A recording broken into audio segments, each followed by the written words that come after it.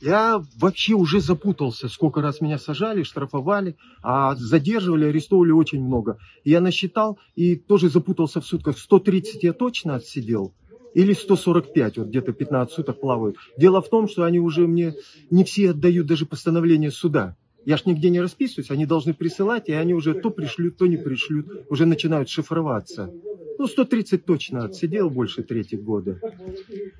Ну, что хочу сказать. Выходил и буду выходить. Сегодня уже буду на Комсомольской площади, 18 часов.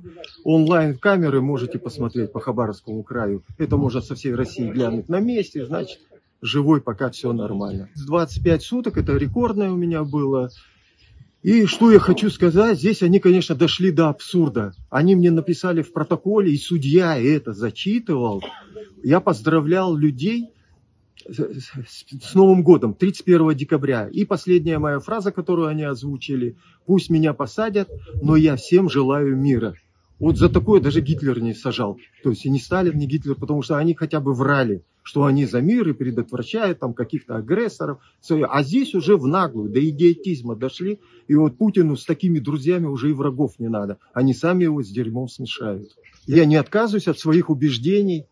Нельзя, допустим, сидеть по жизни на царю и врать, что люди выбирают. Нельзя людей убивать за то, что у них мнение другое нельзя в другие страны вторгаться. Ну и требую свободу слова, это независимые суды, свободное предпринимательство и все демократические реформы требовал, буду требовать. А вот если за Фургала одновременно десятки тысяч вышло, сколько же за Дегтярева вышло, с какими плакатами?